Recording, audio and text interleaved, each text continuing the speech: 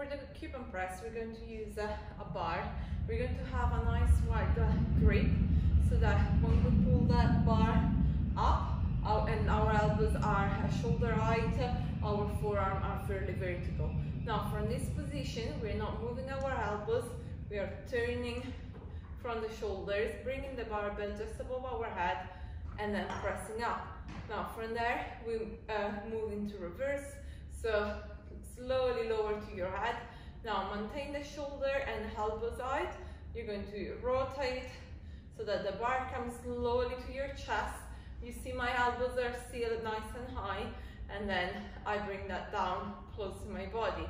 So again, up close to the body, maintain the height, above the head, press down to the head, keeping the height. We need to go all the way to the chest, then lowering down.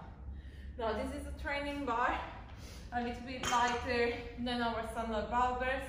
If you don't have access to that, or even a training bar is too much, uh, I like using fractionals uh, with a normal stick. So that way you can really slowly progress uh, and repeat the same exercise, uh, but with the fractionals uh, you can go up one kilo at a time.